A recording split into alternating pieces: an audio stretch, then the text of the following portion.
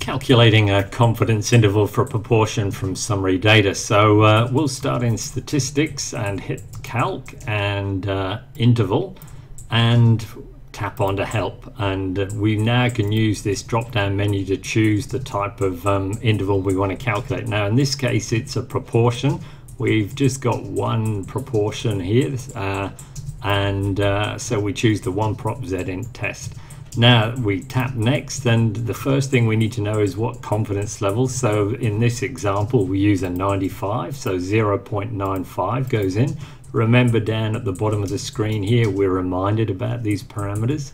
Uh, X in this case we had 36 were faulty out of the 225 and all that's left for us to do is to tap next and you can see that ClassPad's worked out the proportion of 36 out of 225 is uh, 16%.